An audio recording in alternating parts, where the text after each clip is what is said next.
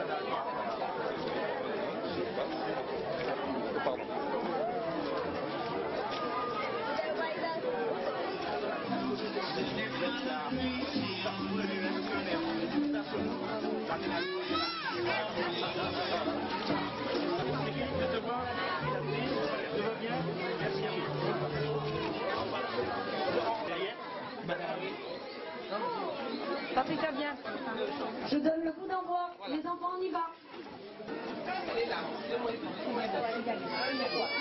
Allez-y, allez-y.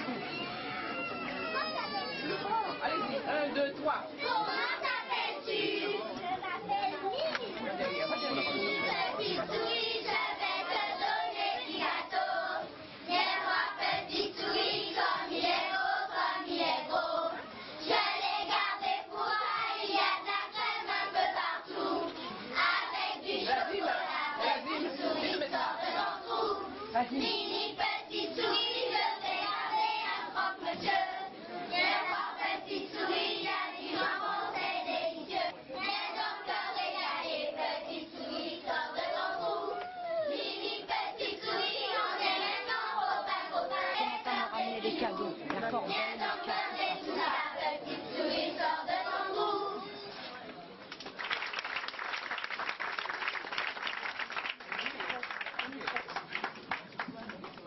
Merci les enfants. Je vais vous demander de descendre tout doucement.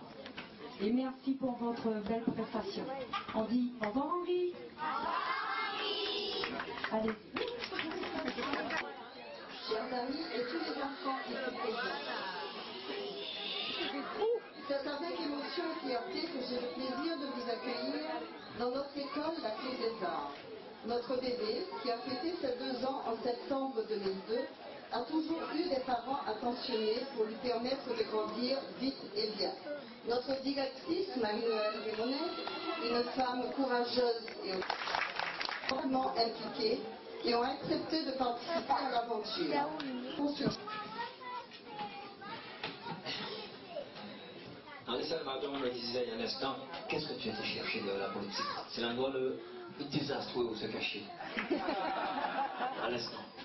Par contre, je n'ai pas entendu les grandes personnes chanter. Et je crois que Salvador a fait danser, chanter, chanter, crier notre génération. Parce que vous avez, vous m'avez dit votre âge tout à l'heure là, et quand vous étiez au sommet de votre art, je n'étais même pas né. J'ai que 41 ans en décembre.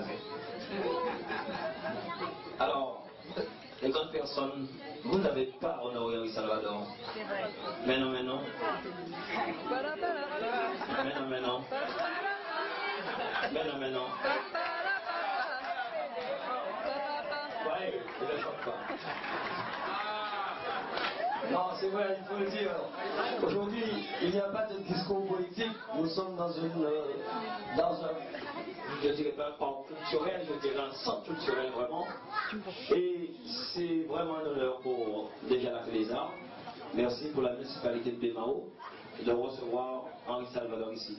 Et pour moi, c'est vraiment un rêve, je le dirais. Parce que je suis, je veux le dire en toute sincérité, un grand comique, un très blague. J'ai fait beaucoup d'autres blagues de chansons. Et je tiens à vous le dire en toute sincérité. J'ai un grand rire comme le voleur.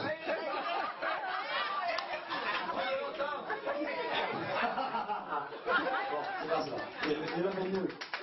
Par contre, ça a été vraiment pour moi encore un super plaisir quand j'ai entendu votre voix dans la petite sirène. Et après Richard, qui est venu il y a deux ou trois ans à Bimao, on revoit notre légende, Henri Salvador. Ça me fait plaisir. Et Madame la directrice, Madame la présidente, la municipalité sera toujours à vos côtés pour vous aider. C'est un honneur pour moi, par la main de Madame Baudin, de vous faire citoyen d'honneur de la ville de Bimao en vous remettant ce présent.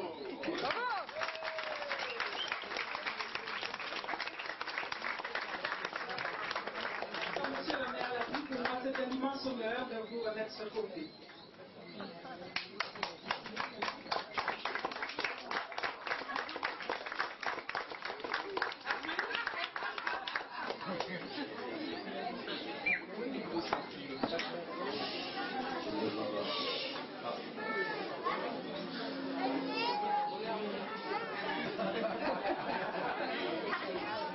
Alors je m'attendais voir les élèves devant moi, que je leur donne quelques conseils.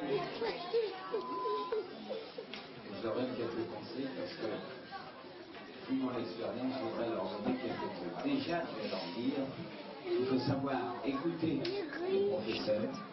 Vous avez une chance. Ça démarre ici et ça peut aller dans le monde. Donc vous avez une ouverture gigantesque ici, sans que vous en aperceviez.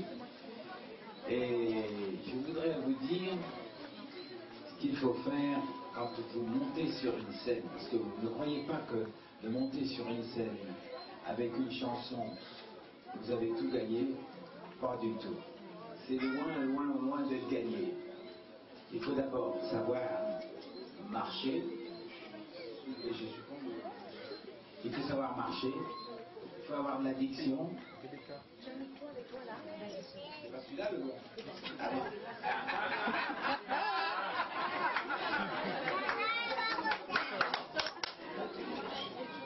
Et je voulais vous dire ceci, le micro, si vous n'écoutez pas, vous allez tout perdre. Ceci, le micro, c'est l'invention la plus extraordinaire de notre époque. Parce que dites-vous que quand vous chantez, et pour travailler votre souffle, vous pouvez faire ce que j'ai fait moi, mais enfin je crois que vous avez des professeurs. Vous retenez vos respirations et vous essayez de lire les deux premières lignes. Si vous y arrivez, vous reprenez votre respiration et vous essayez de lire trois lignes. Ensuite, quatre, cinq, 6. Et vous allez voir que, à force de travailler cette chose, mais en parlant tout doucement, en parlant comme ceci,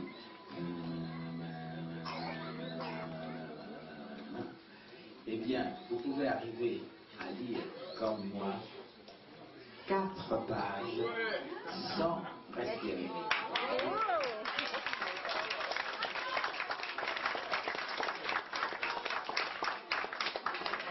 Ça, c'est la base même du chant.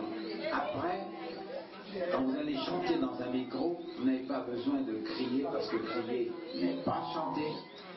Vous allez susurrer parce que par exemple, quand vous serez un peu plus long, vous autres, quand vous devrez dire, vous devrez faire déclaration d'amour à votre vous n'allez pas lui dire Je t'aime Vous allez lui dire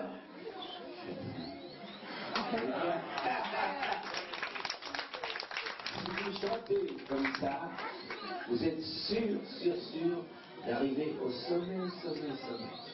D'ailleurs, je vais vous dire, je n'ai que deux professeurs dans la vie c'était Nat King Cole qui chantait dans le souffle et Sinatra qui était un monsieur qui savait dire les mots. Mm. Eh bien, si vous suivez ces deux messieurs et, quelles petites recommandations que je vous ai données, vous pouvez aller très très loin. J'espère que vous en rappellerez de ma petite leçon. Merci.